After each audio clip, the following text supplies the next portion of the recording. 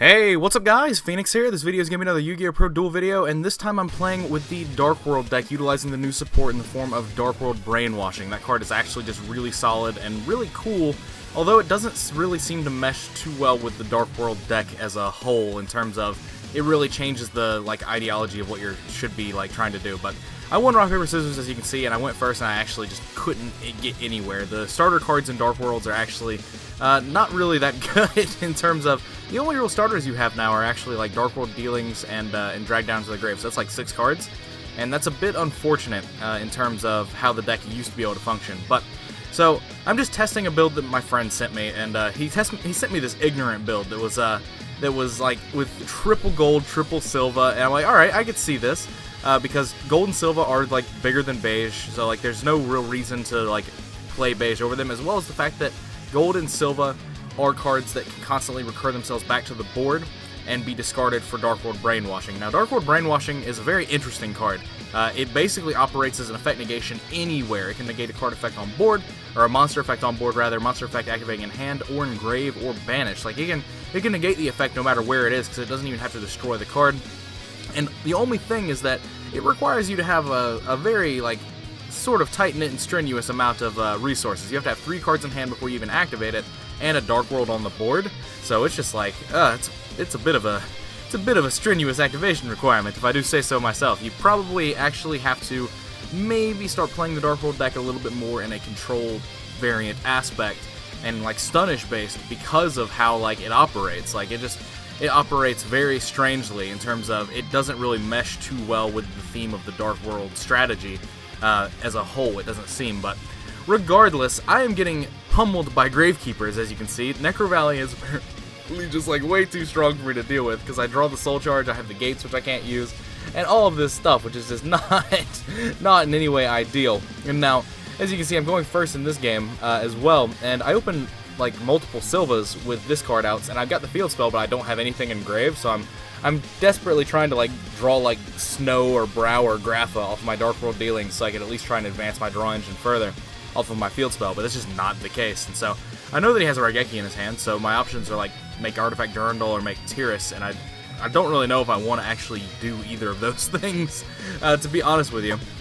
Because even if my stuff dies, it will still allow me to like use the field spell next turn if Necro Valley isn't active, but I saw like a Terraforming in his hand, I think, so it's definitely something that's gonna be not a, a factor. Like, I'm not gonna be able to use my field spell, but the Necro Valley that is being played in this game is actually the new errata in the OCG, and I don't even know if that errata took place in the TCG or not. I haven't checked because Gravekeepers are largely irrelevant um, in terms of how their uh, in terms of how their function works. Although the deck might actually be like some form of like contender on a regional circuit or a local circuit or something.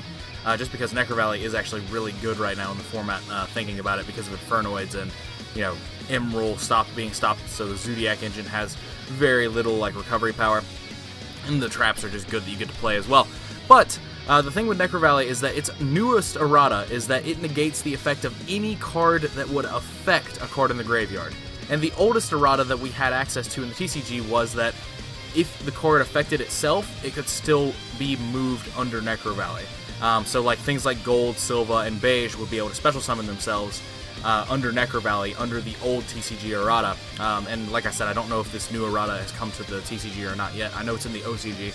Uh, but the new errata negates them outright. Any card that would affect a card in the graveyard, its effect is negated. It's like, wow, that's actually just a super strong errata that I can't can't really deal with uh, in any way, shape, or form. And so, as you see, I just literally get beaten down by Gravekeeper monsters because I struggle to get to a starter card, and all my stuff just really seems to be not really working for me. And as you can see, this hand is another hand that's just not really that good. So, there are definitely some changes to the list that I'm definitely like looking into doing because, like I, like I've probably said already, the way that this deck seems to want to function when you include something like Dark World Brainwashing and build the deck around it is to operate in more of a stunish aspect. Um, but the thing is, you definitely just need starter cards. You need more starter cards, like potentially like Fabled Raven or Trance Archfiend is something that probably would be good on you know paper at least. But the problem is still like trying to get to something like Snoww and Broww to like get into your graveyard because with triple Goldd, triple silver, those cards don't allow you to like start you know molding your field spell draw engine into an existence because they're always going to keep emptying themselves out of the graveyard. I really wish Goldd and Silver Sillva had an optional uh, Monster Reborn effects, basically. I wish they had optional effects, but their secondary effects are some of arguably the best ones out of the Dark World cards, and if you can resolve them off Brainwashing, then it's just game over, especially since, like, you can discard it off Brainwashing, it recycles itself to the board, so you have, if you have multiple Brainwashings, it's just putting more and more monsters on the board, but then you also have the secondary effect that will be triggered, which allows you to either loop two cards away or destroy two cards on board. Like, they're arguably, not even arguably, I would just say that they are 100% the strongest ones to discard off Dark World Brainwashing, and that's why they're being played at such a large amount in the deck. Uh, but I'm just getting hit by Full Force Virus over and over again. The only card in the deck that doesn't get hit by Full Force Virus is fucking Grapha. And, like, I can't use Gates under Necro Valley, I can't use Dark Smog under Necro Valley, I can't use Soul Charge under Necro Valley, and Dimensional Barrier is dead here because he's playing Gravekeepers. He has a 5-card extra deck. He's going into the extra deck is not on his agenda. It's like more of an option that he needs maybe once every once in a while rather than anything else. But I draw Grapha, which is literally the one monster in the deck that I've already said cannot be hit by Full Force Virus. but I can't do anything with it. I can't use Dark Smog, I can't use gates, I can't use Soul Charge, I can't do anything. So this is really strange how this uh, this uh, Gravekeeper matchup in the past, the Gravekeeper matchup way in the past, like in 2011 when the uh, the Dark World cards like came out, like 2011, 2012, that area of, uh, of time, like the Gravekeeper matchup was just free. It was just super free uh, because you just you would just get royal attributed maybe by someone who just was like a dumbass and you just discard your hand. The Necro Valley didn't matter because you would just always be bringing back Graphas every turn. Uh, but now with the deck built as the way it is, it seems like it's like an auto loss. Like trying to turbo a Dark Worlds just seems like it's not really doing it uh, for any way, shape, or form in terms of how you need to play with the deck. But yeah, it's just ah man, this this I just got swept really really quickly, and it just it wasn't a fun time. So there's definitely there's definitely changes that are going to be made to the build because this is the build that my friend sent me that you see on screen. There's definitely a lot of things that I think probably need to be changed because like I said, I think the Dark World deck has potential with brainwashing, especially since it is a searchable trap that can negate monster effects anywhere and also triggers removal off of Goldd and silver. So like it's definitely a very situational bit of removal, but it's definitely also on the same side of the on the opposite side of things. It's very very niche and good in what it's capable of doing um, in terms of molding game states to your favor. It just seems like the deck needs to be played more as like a stunish aspect, kind of like it was in early like 2012, where it was like triple skill drain, recklesses, and like removal cards, and you were literally just summoning Grapha every turn slowly and uh, and you were just getting the game like in your favor turn after turn after turn. Because this whole like trying to turbo into options strategy just seems like it doesn't really mesh well enough with Dark World brainwashing and there are definitely cards that support Dark World brainwashing being really good and easy to access as well, like the Forces of Darkness, which is another trap card. It's not searchable, but you could draw into it, and it lets you just add two Dark Worlds from your grave to your hand, which can help you fulfill the requirement Dark World Brainwashing requires of needing three cards in your hand prior to trying to use its negation effect. So there's a lot of different things that could possibly like just roll with the with the possibilities and stuff here that could make it work. And again, like Trance Archfiend and Fabled Raven are options for starters and stuff like that.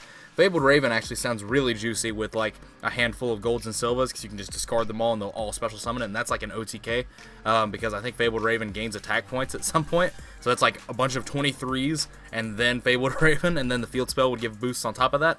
So there's a lot of different options for like available future deck building, but this was a build that, like I said, a friend sent me because I asked him if he wanted to uh, to do a list for me because I didn't want to take the time to to figure one out, and he just said, "All right, well this this is meant to just try to be cool and do stuff," and it seems like that's just not the way that it needs to be worked. So I'm going to be changing the list around a bit, and we'll go from there. So sorry for the bit of uh, expeditious outro nonsense because it's definitely. Uh, it's definitely uh, something that I'm not a fan of. How I just got swept by Gravekeepers, the slowest deck I could have probably played against, and I wasn't even able to like slow my game plan down to stun, and I just didn't get off the ground in any of these games because starter cards seem to be a problem in terms of like the lack of them in this list. There seems to be literally six starter cards, and that is drag downs and allures. But anyway, let me know what you guys' thoughts are in the comments down below. Again, sorry for this sort of expeditious outro, this long, expedited outro that just explains all the things that were on my mind. But the games weren't long enough to explain that, so kind of have to do this. But anyway, as always, thanks for watching. Like, comment, subscribe, all that nonsense. Links are in the description to my Facebook page and Patreon link if you want to go there and support me directly and implement some things to happen possibly in the future of the channel. Support me directly as well as get in on a monthly giveaway happening at the end of this month for a box of Raging Tempest. It's all sorts of things that you might want to go check out my Patreon for and to support me if you want to do that sort of thing. It's just, there is an option. But other than that, uh, that's it for this video. Thanks for watching, as always. Thanks for your time, as usual. Let me know what your thoughts are in the comments down below. And I'm definitely going to be playing with this deck again, maybe once or twice more, because Brainwashing is such a good card in theory that I want to like test it to its fullest potential. So I'll probably be testing differentiating builds on down the line. But anyway, that's it for this video. As I've already said, take care, guys. Thanks for watching all that nonsense. Have a good day. Bye.